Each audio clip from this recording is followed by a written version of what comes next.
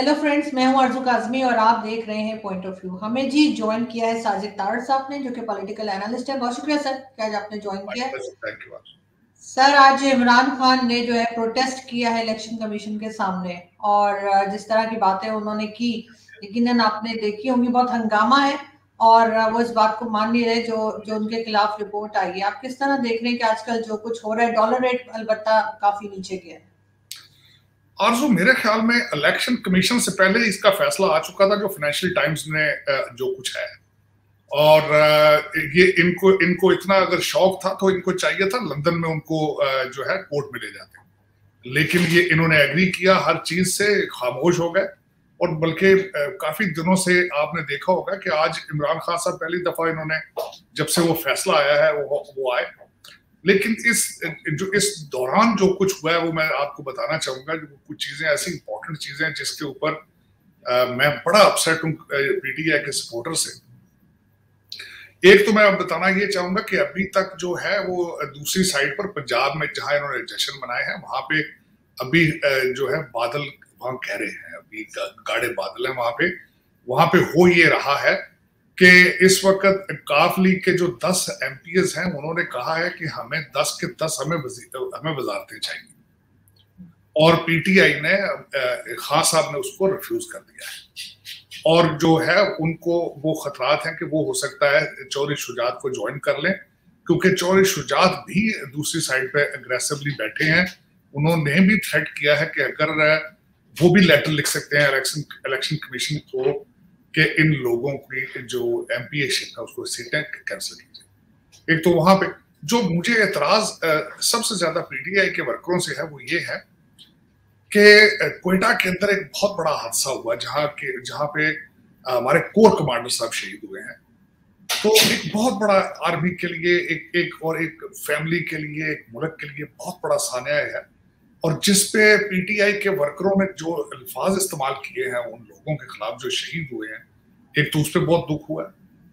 दूसरा दुख ये हुआ है कि पीटीआई आज रिपोर्ट आ चुकी है अमेरिकन मीडिया की तरफ़ से अमेरिकन जो लोग रिपोर्टर हैं उनकी तरफ़ से, कि वो जो ड्रोन है, वो किर्गिस्तान की तरफ़ से फ्लाई किया गया। लेकिन हमारे ये जो मुल्क दुश्मन अनासर अंदर से फिफ्थ जनरेशन वाले बच्चे जो हैं ट्विटर वाले उन्होंने ट्वीट किया है कि पाकिस्तान के अंदर से ये ड्रोन उड़ा था जिसपे राना सनाउल्ला साहब को आके सफ़ाई पेश करना। तो ये दो, मुझे, मैं समझता हूँ कि ये जो इस बिल्डिंग को बनाने वाले हैं, उनको चाहिए कि इसको आप हैंडल करें, क्योंकि वो अब इनके घरों तक पहुँच चुके हैं। जिन्होंने सरफराज अली साहब जो कोर कमांडर हैं, जब उनके खिलाफ इन्होंने ट्वीटें की हैं इन्होंने मेरा मकसद है कि अब वो किसी को नहीं बख्श रहे इस वक्त वो सिर्फ़ और सिर्फ़ देखते हैं वो कहते हैं अमीरुल मोमिनीन कब जाके रियासत मदीना के तख्त पर बैठेंगे और फिर हम हमारा सफ़र अफ़गानिस्तान की तरफ़ शुरू हो जाएगा? अब वो ये सर कहीं ना कहीं पाकिस्तान का रोल तो हो सकता है क्योंकि पहले भी हम डॉलर पकड़ते रहे हैं और अपनी ज़मीन देते रहे अमेरिका को इस्तेमाल के लिए। मेरा देखिए पॉसिबिलिटी अगर डार्ट्स को मिलाया जाए और खासकर जो बाइडन की स्पीच सुनी जाए तो उसमें एक एक शारतन है, लेकिन मैं मैं, मैंने खुद उस पर बड़ी रिसर्च इस पे की यहाँ लोकल मीडिया पे भी। उनकी स्पीच में था कि हमारे किसी एलाइज ने हमारी मदद की है और उस पर इशारे पाकिस्तान आ जाते लेकिन किर्गिस्तान भी उसमें एलाइज में शामिल हो सकता है। इसमें कोई शक नहीं। सीआईए का ऑपरेशन इस वक्त बिल्कुल काबुल के अंदर जो है वो ना होने के बराबर है। किसी ने उनको इंफॉर्मेशन बेची है दी है। ये डार्ट्स तो कई लोगों की तरफ़ मिलते हैं एक तरफ़ नहीं मिलते, लेकिन स्पेकुलेट करना और मुल्की मुफाद में जाके जब मुल्क पहले ही डॉलर ढाई सौ पे हो, आप पहले ही तन तन तनहा हो पूरी दुनिया में और खतरात के बादल जो है आपके आसपास हों और उस वक्त आप इस इस चीज़ को फिफ्थ जनरेशन वार की तरह यूज़ करें। चले, उसको छोड़ो, मैं दूसरी तरफ़ आपकी तवज्जो लेके जाने की कोशिश करता हूँ, जो आज एहतजाज हुआ है। एहतजाज के हवाले से इन्होंने राजा साहब इलेक्शन कमीशन के जो चेयरमैन है, उनकी बीवी को ही बख्शा इन्होंने। कि उनको जी रिश्वत में लुक्रेटिव अपॉइंटमेंट्स दी गई हैं। दो चीज़ें मैं कहना चाहूँगा कि अगर आपकी खातन के ऊपर करें तो वो पाक दामन खातन हो जाती हैं। आप किसी की बीवी को उछालें तो वो कोई और है। हालाँकि इनको ये नहीं पता कि उन्होंने जब सीएसएस का इम्तहान पास किया था, सातवें नंबर पर उनकी पोजीशन थी। तो लेकिन ये कि इस वक्त जिस हालत में आप हैं इस वक्त आरज़ू पाकिस्तान में मेरा मकसद है कि अब अब आपका गुजारा नहीं है क्योंकि आपने इसको एक मजहबी कल्ट बना दिया और जब भी अब मजहबी कल्ट में जाते हैं आप बिल्कुल आँखों से अंधे और कानों से बहरे हो जाते हैं। इस वक्त समझती है कि हमारा अमीरुल मोमिनीन जो है वो गलती नहीं कर सकता?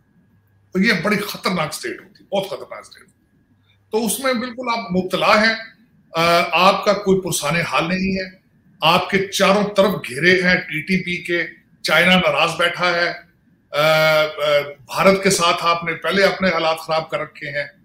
अफ़गानिस्तान टीटीपी ने आपकी बॉर्डरी लाइन को एक्सेप्ट, आपकी सॉवरेंटी को वो एक्सेप्ट ही नहीं कर रहे। आपने अलग उस्मानी साहब को वहाँ भेज के बड़ी मिनते तरले उनके किए। और इस वक्त जो आपका एक इंस्टीट्यूशन वाहिद एक ही इदारा था जो फेडरेशन या एक चीज़ को पहले जिन्होंने एक हाइब्रिड आप प्रोज एंड कॉन्स उनके डिस्कस करें। लेकिन एक वही इदारा था जो हर वक्त आपके बारे में, अब देखें ना, सैलाब हुआ तो कौन मदद कर रहा है? आपके पीटीआई के किसी, या नून लीग के किसी लीडर ने कहा है कि चले, आओ बलूचिस्तान में चले। यहाँ जलसे नहीं करते इलेक्शन कमीशन के सामने, चले बलोचिस्तान में चल के उनकी मदद करते हैं। चले थरपारकर के हिंदुओं को जाके पूछेंगे आप किस तरह सुबह शाम आप किस तरह ज़िंदगी गुजार रहे हैं। लेकिन ये कि वो कहते हैं, नहीं इलेक्शन कमीशन के पीछे जाना है, सुप्रीम कोर्ट के सामने धरना देना है एफ़ नाइन में धरना दे अभी तक जलाओ घेराव की पॉलिसीज़ हैं और कुछ भी नहीं। और ये सबक उस वक्त सीखेंगे जिस तरह के मैं अब उसकी क्या मिसाल दू? मिसाल देनी भी अच्छी नहीं होती कि सेवेंटी वन में जिस तरह हुआ था कि कौम बिल्कुल आँखों से अंधी और कानों से बहरी हो चुकी थी। बिल्कुल, लेकिन sir prime minister Shahbaz Sharif गए बलूचिस्तान और वहाँ के लोगों ने यही कहा कि साठ साल के बाद उन्होंने किसी प्राइम मिनिस्टर की शक्ल देखी है। क्योंकि इमरान खान तो कह रहे थे मुझे तो उस पर भी आरज़ू मुझे तो उस पर भी एतराज़ था। वो भी एतराज़ मुझे इसलिए था कि मैंने शायद आपके सेगमेंट में कहा था वो वहाँ पे गए हैं काला चश्मा हैट छतरी रखी कि शायद धूप ना लग जाए। जिस तरह वॉइस राय ट्रेवल करता था। दुनिया भूख से खुले आसमान के नीचे धूप में बैठी है बच्चे बिलक रहे हैं वहाँ पे। और हमारा वॉइस राय वहाँ पे गया काला चश्मा पहन के। और मुझे ये भी किसी ने कहा कि बार बार उनकी वीडियो ये भी आई है कि यार कैमरा आ रहे हैं या नहीं है चेक करो कैब मूवी बन रही है कि नहीं बन तो अगर फ़ोटो आपके लिए गए हैं वहाँ पे, अगर इसके ऑप्टिक्स के लिए गए हैं तो ये भी ज्यादती है और यहाँ घंटा, देखें वॉइस राय स्टाइल ऊपर जहाज़ से हेलीकॉप्टर से नज़र मार के आ जाना, ये ये इसमें लीडरशिप नहीं होती। मज़ा तो तब था ना कि वहाँ तीन चार दिन रुकते खुले आसमान के नीचे वो लोगों में बैठते।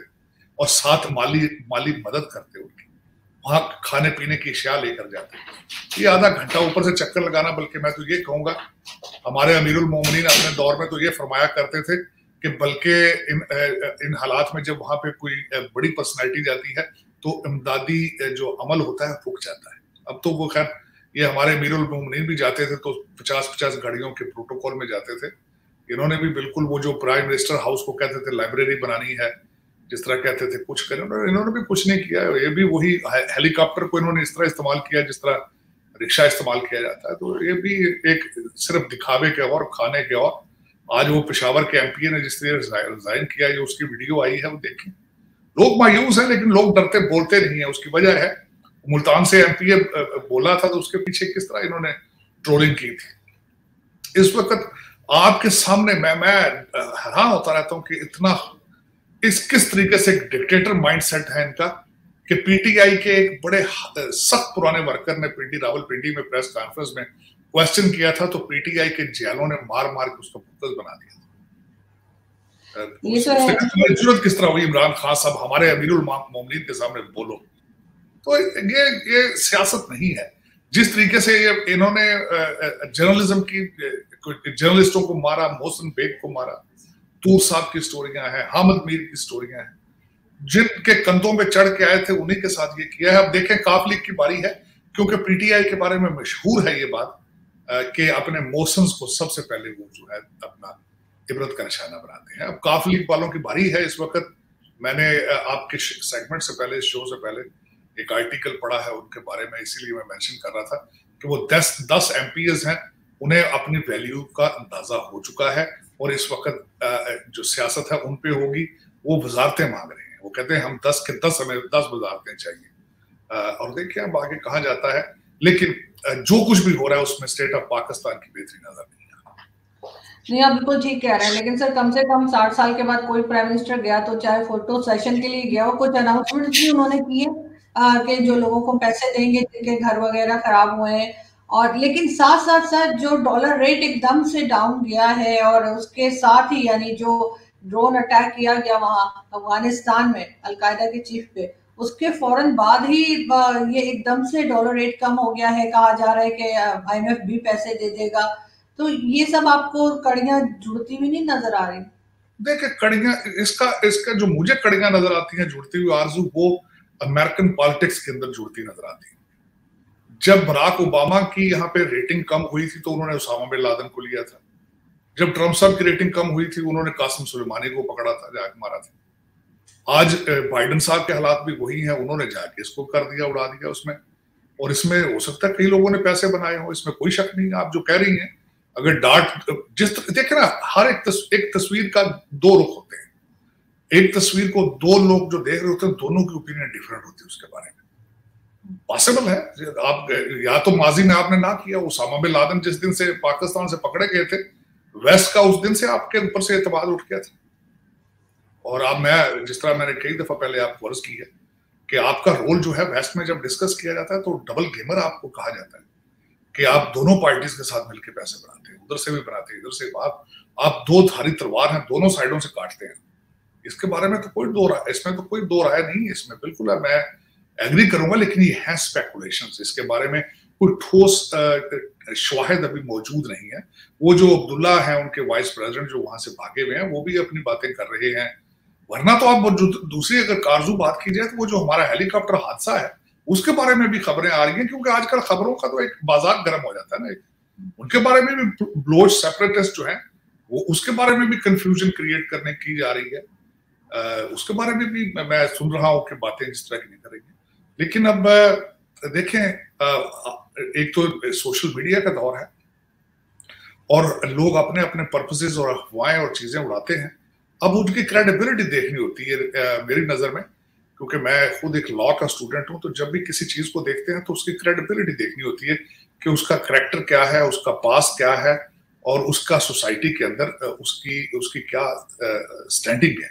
विटनेस जो क्रेडिबिलिटी होती है, उसी लिहाज से मेरा नज़र में मैं न्यूज़ को भी, उसी न्यूज़ जो मीडिया आउटलेट्स जहाँ से मैं अपनी रिसर्च करता हूँ I always follow by the see their credibility their past their standing their rating और उस पर जाके मैं कोशिश करता हूँ कि अपनी ओपिनियन को बिल्ड करूँ। इसलिए मैं कह रहा था कि ये अभी स्पेकुलेशन है। इसके बारे में अभी कुछ कहा नहीं जा सकता। ना तो इस ऐमान जुआरी के बारे में कहा जा सकता है। ना इसके बारे में कहा जा सकता है कि हेलीकॉप्टर हादसा क्या हुआ है। तो मैं जो अभी तक रिलाई कर रहा हूँ आई की जो उनकी थी स्टेटमेंट और जो मैंने आज जो खबर पढ़ी है किर्गिस्तान के हवाले से मैंने अमेरिकन मीडिया में पढ़ी है और बड़े बाज वसूख रजाय से पढ़ी है कि वो वहाँ से फ्लाई करके आया था तो अब दूसरा ये इंटेलिजेंस शेयरिंग इंटेलिजेंस शेयरिंग के बारे में राय हो सकती है। हाँ उसमें ये ज़रूर मैं कहूँगा कि जब उस एरिया में जहाँ ईमान जवारी साहब ठहरे हुए थे, पॉश एरिया था, वहाँ डिप्लोमेट ज़्यादा रहते हैं और उसके आसपास तालिबान की चौकियाँ हैं, नाकाबंदी है और वहाँ हर अंदर जाने वाला जो होता है, वो तालिबान केलर में होता है के अंदर कौन जा रहा है इन गलियों में। तो वो ये खुला क्वेश्चन है। अब ये देखा जा रहा है अमेरिकन की नज़र में, यहाँ पे लोग स्पेकुलेट कर रहे हैं कि वहाँ से भी इंटेलिजेंस शेयरिंग हो सकती है तालिबान के अंदर से भी। क्योंकि इस वक्त वहाँ पे जो तालिबान है, वहाँ पे माशी हालात उनके अकानमी बहुत खराब है।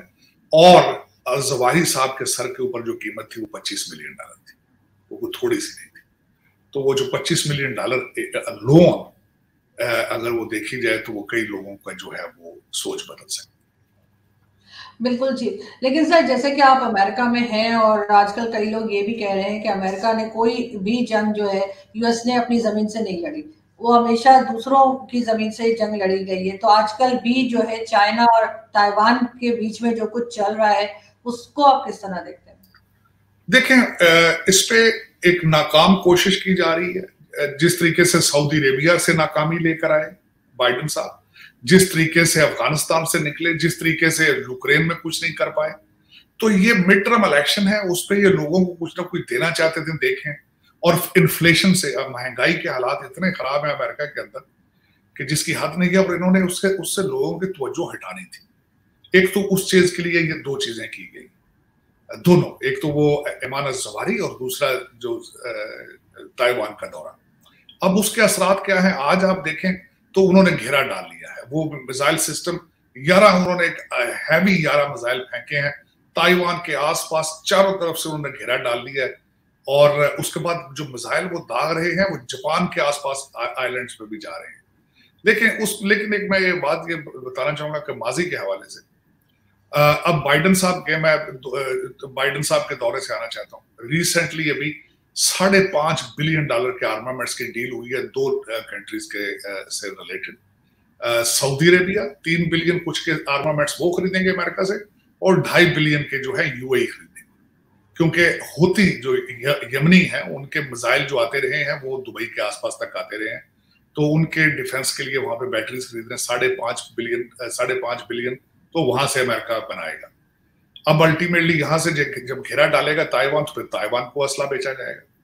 इसको कहा जाता है, हमारे यहाँ पे कहते हैं वॉर बेस इकोनॉमी अमेरिका में जब सेकंड वर्ल्ड वॉर थी तो उसके बाद एक वायद उनका एक सोल्यूशन था कि जिस स्पीड के साथ हिटलर बनाता था अपने हेलीकॉप्टर और not helicopter fighting fighting planes jets fighting planes और उसके बाद टैंक्स इन्होंने वहीं से सीखा था इब्राहिम टैंक और यहाँ पे जितनी स्पीड से इन्होंने तैयारे बनाए थे तो ये एक सीक्रेट था, ये एक जब तक उसको कंप्लीट ना किया जाता, लेकिन जब खत्म हुई वार उसके बाद वो उन फैक्ट्रियों में ये काम जारी रखना चाहते थे। ये this is history of American foreign policy और उस असले को बेचने के लिए they need the battleground they need the trouble in the areas South America में हुआ मिडल ईस्ट में हुआ, ये सारी चीज़ें। वार बेस इकॉनमी ज़ाहिर है, ये तैयारे बनाएँगे। एफ़ एटीन कहाँ बेचेंगे? एफ़ थर्टी फाइव कहाँ बेचेंगे? टामाहक मजाइल कहाँ बेचेंगे? तो ये सारी उनके लिए मार्केटिंग कैंपेन है। और वो चल रहा है काम, दुनिया में इसी चल रहा है। देखें अमेरिका के अंदर अब ये देखें ना, अमेरिका में भी गाड़ियाँ सबसे ज़्यादा जो पॉपुलर है वो जैपनीज है। मुझे आज तक याद है, मैं मैं पब्लिक डिबेट और पब्लिक स्पीकिंग का बहुत बड़ा फ़ैन हूँ। का मेरे मुझे अभी तक भूलता नहीं है, जब सितंबर 11 के बाद डेजर्ट स्टॉम जंग शुरू हुई थी तो उस वक्त कांग्रेस के अंदर स्पीचेस में मैंने एक चीज़ लर्न की थी। उन्होंने हमारे जो कांग्रेस मैन थे, वो ये कहते थे कि वी आपका क्या ख्याल हम जब स्पेस में जा सकते हैं we cannot build transistor we cannot build good cars we can लेकिन हमारी प्रायोरिटी नहीं। Our priority is space our priority is armaments तो हम उन्हीं पे फोकस रखना चाहते हैं। आज देखें अगर अमेरिका के हवाले से अगर इसकी डिस्कस की जाए चीज़ें तो इंटरनेट इस वक्त सबसे बड़ा, लेकिन उसका मेन फ्रेम बिल्ड करने वाले कौन? फेसबुक ट्विटर कहाँ की है? बड़ी बड़ी कंपनियाँ जो कोका कोला पी रहे हैं, आप जिलेट पी ब्लेड है ये चीज़ें, इनकी हिस्ट्री देखें। तो ये इसी तरीके से इस वक्त अमेरिका जो खुद जंग में नहीं जाता, शिप कैरियर जाते हैं उनके, या अब आप देख रहे होंगे कि आगे, बल्कि आगे सिर्फ़ ग्राउंड ग्राउंड आर्मी वहाँ जाएगी जंग जीतने के बाद ये कॉन्सेप्ट है। लेकिन जंगे अब इंसान नहीं जाके लड़ेंगे फ्यूचर में। मिसाइल सिस्टम, ड्रोन सिस्टम के साथ ही होंगी, लेकिन ग्राउंड पे जाके लेटर ऑन टेक ओवर करना या मैनेज करना या उस चीज़ को, उसके लिए फिजिकली लोग जाया करेंगे, लेकिन अब वो फ़िज़िकल जंग का दौर नहीं रहा, बल्कि अब तो आने वाले दिनों में देखा जाएगा। चाइना जो है, जिस तरह मैंने देख रहा था चाइना सबसे बड़ा जो उनके एक तो करेंसी मैनिपुलेशन में जाता है और दूसरा इकोनॉमिक वार में जाता है चाइना की जिस तरह मैंने देखा है। और उन्होंने इसी तरह किया है ताइवान से ट्रेड अपना कट ऑफ़ कर दिया है। उन्होंने वहाँ से तकरीबन हर चीज़ जो भी वहाँ से आती थी इम्पोर्ट होती थी, उसको उन्होंने रोक दिया है। दूसरा उन्होंने उसका बार्गो कर देंगे, छोटा सा आइलैंड है, अंदर जाने आने देंगे और ताइवान के हालात इस तरह भी चोक कर देंगे, क्योंकि सबसे पहले तो बात यह है कि वो यहाँ से दूर बहुत है। अमेरिका सिर्फ़ वहाँ पे अपने कैरियर ही भेज सकता है और उस उस एरिया में जो सबसे ज़्यादा सर्व करना है, वो भारत करेगा इंडियन ओशन से उस साइड से। क्योंकि क्वाड जो दो बनाए हैं, दोनों में भारत मौजूद है उनके साथ। America will ally on their allies such as India and such as the Qatar और वहाँ की जो से वो की हेल्प करेगा ताइवान की uh, वरना Taiwan will deal by themselves sir last में पूछना चाहूँगी क्या ये चाइना और अमेरिका के बीच में जो चल रही है टेंशन इसका कोई किसी किस्म के कोई असरात क्या पाकिस्तान पे भी आ सकते हैं क्योंकि ज़ाहिर है इनको किसी एक का साथ देना पड़ेगा? नहीं आपका आपका माजी अगर देखा जाए तो आप उसी का साथ देते हैं जहाँ से पैसे आपको आते हैं। आपने 26 बिलियन डॉलर बनाना था, बना लिया आपने सी पैक के हवाले से। अब वो छोड़ दिया उन्होंने तो आप इस वक्त आईएमएफ के कदमों में पड़े हैं। और इसी तरह, अगर अमेरिका, चाइना उस रीजन में जाएगा तो आप उसी का साथ देंगे जो आपको पैसे देगा। क्योंकि आपके बच्चे पढ़ते हैं सारे बाहर, और आपकी प्रॉपर्टीज़ भी सारी बाहर हैं, और वो रुपयों से नहीं चलती, वो डॉलरों से चलती। तो वो डॉलर और पाउंड आपका सारा कुछ है। लंदन से आपके डिसीज़न होते हैं सारे। आप उसी का साथ देंगे जो आपको पैसे देगा। आपकी ओरिजिनल दो चीज़ें आपके अंदर नहीं होंगी, ना थी, ना होंगी। नेशनलिज्म और पाकिस्तान के मफाद के लिए आप डिसीज़न नहीं लेंगे। आप सिर्फ़ जो सीट पे बैठा होता है डिसीज़न मेकर होता है, वो अपनी जरूरियात के हिसाब से फैसला करता है कि मुझे क्या सूट करता है। आप इसकी मिसाल ये दूँगा आरज़ू, अगर किसी को मुखालता हो डिबेट करना चाहता हो तो सबसे पहले वो ये रिसर्च करके आए कि आपके रूलिंग एलीट जब रिटायर होती तो वो कहाँ सेटल होती उनमें से बड़े चंद लोग हैं गिनती है जो पाकिस्तान में होते हैं। बाकी सारे के सारे बच्चों को तो पहले भेज दिया जाता है, प्रॉपर्टी ले ली जाती है। पैकेजेस सारे लेकर ये सारे बाहर के बैंकों में सेटल होते हैं। तो वहीं पर और ज़ाहिर है जब वहाँ से लोग होंगे, अब मुझे ये बताएँ कि आपका हाईएस्ट रूलिंग एलीट आखिरी दो साल, तीन साल हो, जब अपने आप प्रोफेशन की पीक पर हो। बच्चे आपके फॉरेन नेशनलिटी ले चुके हों, आपका घर बाहर बन चुका हो। आखिरी दो सालों में आप फिर डिसीज़न पाकिस्तान के बारे में लेंगे। या अपनी रिटायरमेंट के बाद की ज़िंदगी के बारे में डिसीज़न लेंगे। और वही लेते जा रहे हैं। आप चौहत्तर साल की हिस्ट्री निकाल के देख लें। ये मैं कोई ऐसे ब्लफ नहीं कर रहा हूँ। Is based on some research is based on my study on the history आप बिल्कुल फ्यूचर में भी उन्हीं के साथ जाएँगे जहाँ से पैसों की उम्मीद बिल्कुल चाहे मुल्क के साथ कुछ भी हो लेकिन ये चीज़ मुल्क के बारे में देखना हो तो जो आजकल के हालात हैं आपके ये ये सोचें। मुझे, मैं, लोग अक्सर पूछते हैं जी पाकिस्तान इस हालात में किस तरह पहुँचा मैंने कहा, चौहत्तर साल के किताबें खोल के पढ़ देखें, आज इमरान खान हो, नून लीग हो, काफ लीग हो, कुछ भी हो, आप देख लें फातिमा जना के दौर में भी यही हालात है। उसके खिलाफ भी वही कंपेन थी जिस तरह की आज चल रही है। इसके बाद देख लें आप जिस तरह की को को पहली दफ़ा नहीं हुआ। लेकिन किसी को, मैंने आपको कहा था कि चौहत्तर साल से जो कुछ हो रहा था, मुल्क मैं पैदा हुआ था तो जब मैंने अखबार पढ़नी शुरू की थी तो मैं पढ़ता था पाकिस्तान नाजक दौर से गुजरा। पाकिस्तान बस अभी तक वैसे ही अभी तक वैसे ही गुजर अब नया उसमें थोड़ी सी चेंज आई। उस वक्त पाकिस्तान हर वक्त नाजक दौर से होता था अब ये होता है अगले छत्तीस घंटे बहुत इंपॉर्टेंट अगले अड़तालीस घंटे बहुत इंपॉर्टेंट अब ये आ गया। और वो छत्तीस अड़तालीस घंटे खत्म ही नहीं हो रहे। लेकिन अफसोस ये है कि जो मुल्क घंटों के बेस पे चल रहा, घंटों के बेस पे, उसका मुस्तकबिल किस तरह प्रोडिक्ट किया जा सकता वो मुझे याद, मैं भूल गया हूँ किसी का, उसने कहा पाकिस्तान में सिर्फ़ माजी प्रोडिक्ट किया जा सकता है मुस्तकबिल प्रोडिक्ट नहीं किया जा सकता, यहाँ तो घंटों के बेस पे डिसीज़न होते हैं। बिल्कुल, लेकिन सर इमरान खान का नाम ईसीएल में डालने की बात की जा रही है, आपको लगता है कि इनको अरेस्ट कर लिया जाएगा? देखें तो पहले ईसीएल का फ़र्क क्या पड़ता है? आपके आप तो वहाँ से जो लोग भागते हैं तो प्राइवेट जहाजों में भागते हैं वो। हम्म। खान साहब ने पता नहीं किस कौन सी ये किस बेस से किस जहाज़ से किस जगह से उड़ जाना है अगर किसी ने उड़ना हो? देखे ना वो आपके अनवार अनवार साहब थे वैसे अनवार साहब थे वो कहाँ से उड़ के गए थे? लोगों के पास मौजूद है अच्छे यहाँ तो मुझे आप छोटी सी बात बताएँ कहते ईसीएल में डाल दिया परवेज लाइन जहाज़ से उड़ के आया लाहौर से इस्लामाबाद और मलक रियाज के जहाज़ से आया। तो वो आपको बता के जाएँगे, मैं इस्लामाबाद एयरपोर्ट पे आ रहा हूँ भाई। चेक को मेरा नाम ईसीएल में आया या नहीं। पता नहीं है लोग भी क्या, किस तरह के डिसीज़न लेते हैं। जो, जिनके नाम ईसीएल में डालने वाले हैं, उनको डालते नहीं, उनके नाम निकाल दिए हाईकोर्ट ने। देखिए, हर चीज़ का डिसीज़न जब तीन आदमी, तीन जजेस कर रहे हो तो फिर उस, क्या प्रोडिक्ट करेंगे फ्यूचर तीन लोग हैं जो पाकिस्तान के मुस्तकबिल के फैसले कर रहे हैं बैठ के।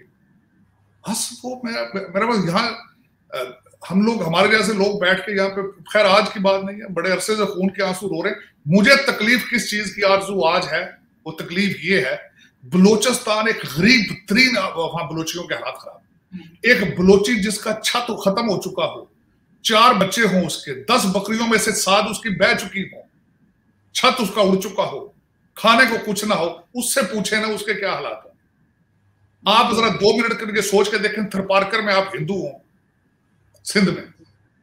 आप पहले ही आपके हालात, आप आप निशाना हो आप, और उसमें आपका सारा कुछ खत्म हो जाए तो आपको, आप आप घंटे तो उनके, वो भी तो घंटों के हिसाब से ज़िंदगी गुजार रहे कि जितने आपके ये सारे, ये अल्ले तलल्ले हैं, ये जितने लौंडे लपाड़े हैं, इनको शर्म नहीं आती वहाँ जाके उनकी मदद करें?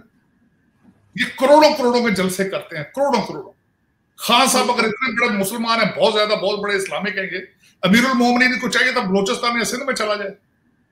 अपने हाथों से मदद करे उनकी जाके। उनको खाने पकवा पकवा के दे। अब दुनिया भी अपनी संवार ले, आखिरत भी संवार ले वहाँ से जाके। रियासत मदीना के इस तरह बैठते हैं अमीरुल मोमिन जब आधा मुल्क जो है वो सैलाब में बह गया हो और ये तख्ते इस्लामाबाद में बैठ के तकरीरें कर रहा हूँ मुसलसल। मुझे तो अफसोस हुआ अगले दिन। वो जमील मौलाना जमील साहब, बनी गाला जाने से पहले इतना बड़ा भाषण बार उन्होंने दिया। मुल्क के सियासतदानों के लिए। वो अंदर जाके उस सियासतदान को भी कहो, यार, कि चलो बलोचिस्तान और सिंध में चले, लोगों की मदद करें, बच्चे उड़ गए सारे। लोगों के कारोबार तबाह हो चुके लोगों के घर गिर गए अंदर जाओ, वहाँ मदद करो उनकी। ये इस्लाम तुम्हें कह रहा है। इन लोगों को दर हकीकत इस्लाम का नहीं पता। हम लोगों ने इस्लाम को हमेशा एज ए फॉरेन रिलीजन लिया है। हम उसके नमाज़ पे, उसके रिचुअल्स पे ज़ोर है, उसकी फिलासफी पे ज़ोर नहीं। इस्लाम की फिलासफी को समझने की कोशिश करो। और मैं आखिर में ये कहूँगा आरज़ू आप मुसलमान हिंदू क्रिश्चियन बाद में बनते हैं आप पैदा होते हैं बहसीते इंसान। आप बाद में मुसलमान बनाए गए हो बाद में हिंदू बनाए गए हो। लेकिन अगर जिसको इंसानियत की शर्म नहीं है ना अच्छा हिंदू ना अच्छा मुसलमान ना अच्छा क्रिश्चियन बन सकता है। आज बलूचिस्तान या सिंध में इंसानियत तड़प रही है। वो बलोची या वो मुसलमान नहीं है हिंदू नहीं है इंसान है सबसे पहले। तो इन लोगों से मेरी गुजारिश ये है अगर तुम रियासत मदीना या अच्छा इस तरह तुम अमल बिन मारूफ करना है तो जाओ वहाँ बलोचिस्तान और सिंध में जाओ। भागो यहाँ से शर्म तभी लोगों को पता लगेगा कि ये लीडर हैं और उनके साथ खड़े हैं। ये लीडर नहीं है डाकू सारे चोर हैं। ये तो पैसे लेके लंदन से इनके इनके बच्चे तो सारे प्रॉपर्टियाँ सारी लंदन में एक सेकंड में भाग जाएँगे यहाँ से। इनका पाकिस्तान में है क्या? मेजोरिटी इसके आसपास जितने लौंडे लपेड़े हैं वो वन वे टिकट एक एक सूटकेस तो उनकी मालियत है। उनकी ना प्रॉपर्टियाँ यहाँ ना उनके बच्चे यहाँ बैठे। ये तो लूटने के लिए आते हैं वो भी डॉलरों और पाउंडों में। इनको क्या पता है पाकिस्तान और इस्लाम या इंसानियत क्या है? मैं मुझे दुख होता है बहुत दुख होता है। ना सर फैसल वाउडा तक की वीडियोस आ रही हैं वो भाग के पहुँच गया यूएस नहीं सारे चले। मैं अगर आप देखे चीफ ऑफ़ स्टाफ जो साथ राइट हैंड है उस बंदे का। उसके बीवी बच्चे तो शिकागो में। ग्रीन कार्ड है वो अपना ग्रीन कार्ड क्यों नहीं छोड़ता यार? अमेरिका ने तुम्हारा रजीम चेंज किया ग्रीन कार्ड छोड़ो अपना। बच्चे बुला लो यहाँ से। लेकिन ये कि धोखा है धोखा। और कौम के इन्होंने आँखें बंद और कान बंद कर दिए। दुख ये है कि चार साल की इनकी परफॉर्मेंस तो देखो ना यार। आज उस आज उस्मान बुजदार किधर है? उसको तुमने वजारत तक नहीं दी है। बिल्कुल। और पहले भी उन्हें पपटी कहा जाता था लेकिन देखते हैं कि कम से कम डॉलर रेट उसमें आरज़ू मुझे दो चीज़ों का दुख है। पपट समझ के, समझ, पपट बना के लाया गया था। एक पपट को आज़ाद कश्मीर बिठाया गया, एक पपट को सूबा सराद में बिठाया। दुख आज इस बात का है कि इन्होंने कहा है कि चीफ इलेक्शन कमिश्नर जो थे, वो न्यूट्रल्स लेकर आए थे तो मैंने आँखें बंद करके साइन कर दी। स्टेटमेंट देखें आप। सत्तर साल का एक आदमी, वज़ीर आज़म ऑफ़ पाकिस्तान, कहता है न्यूट्रल्स लेकर आए थे, मैंने वैसे ही साइन कर देख। और सर जिस भारत को और इसराइल को और दूसरी कंट्रीज़ को सुबह शाम बुरा भला कहते हैं उनसे ये फंड्स लेते रहे। वो सबूत भी तो आ गए देखिए फंड्स का लेते आरफ नकवी को जब लंदन में पकड़ा गया था तो उन्होंने एक काल किसको करे? उसने कहा इमरान खान को करे। के इलेक्ट्रिक की स्टोरी मैंने आपको यही कहा इलेक्शन कमीशन से आने से पहले फैसला आ चुका था। फाइनेंशियल टाइम्स ने इनका सारा फैसला तो उन्होंने निकाल दिया सारा। बिल्कुल। वही वालों ने पैसे दिए ग्वादर बंद करें इन्होंने कर दी बंद। सीपैक उन्होंने बंद करो। लेकिन आरज़ू दुनिया सारा देख रही है। अफसोस ये है कि उनकी आँखों आँखें बंद हैं कान बंद है। क्योंकि उसकी वजह यह है कि the man is not a politician any more the man is a head of a religious cult and he is अमीरुल मोमनी देखिए मज़हब जब मज़हब और गद्दारी जब दो, दो चीज़ें आती हैं और he played the card very well मैं ये मानूँगा ज़रूर कि इसने जिस खूबसूरती के साथ सारा कुछ किया है आफरीन है, इसके ऊपर भी किताब लिखनी चाहिए। कुछ लोग होते हैं जो एक लफज में ये तो नहीं कहूँगा स्मार्ट एक होता है क्लेवरनेस होना शातर जिसको कहा, शातर। ये शातरिज्म है। मेरा मकसद ये, आप आने वाले दिनों में मैं जिस तरह हमेशा ये कहता हूँ कि भारत की भी हिस्ट्री लिखी जाएगी। अल्टीमेटली हिस्टोरियंस ने लिखना तो है। लेकिन इस बंदे का नाम भी लिखा जाएगा कि एक प्ले बॉय आया, किस तरीके से, मेरा मकसद है वो गया, फिर उसने सारा किस तरीके से पहले उसने कहा नया पाकिस्तान फिर उसने कहा आओ रियासत मदीना बनाए आओ अमीर मोमिन फिर वो कहता है पैगंबर सारे भी सियासी थे। नौज बिल्ला वो अपने आप को पैगंबर के स्टेज पर ले जा चुका नौज बिल्ला वो कहता है कि जिसने पीटीआई छोड़ी वो शिरक करता है। नौज बिल्ला वो ये कहता है कि हज जुमरा ना करो पीटीआई के लिए कहा किस उन्होंने ये भी कहा है सर के कबर में सवाल पूछा जाएगा कि इमरान खान को सपोर्ट किया कि ये भी कह चुके हैं वो। चल चल, सब चल रहा है भाई, सब चल रहा है। इस वक्त तो अब आखिरी स्टेज रह गई है कि स्पीकर से फूके मार के ये दम किया करें और हर एक बंदे को एक एक तवीज दे दिया करेंगे। भाई, ये रात को सोने के लिए, सोने से पहले सराहने रख लिया करो। हाँ भाई फूक के लिए तैयार हो, जिस तरह एक मारते हैं हमारे बाबा जी यहाँ तो कहें भाई हाँ भाई, पानी हाथ में पकड़ो। फू बोलो, चलो, सारा।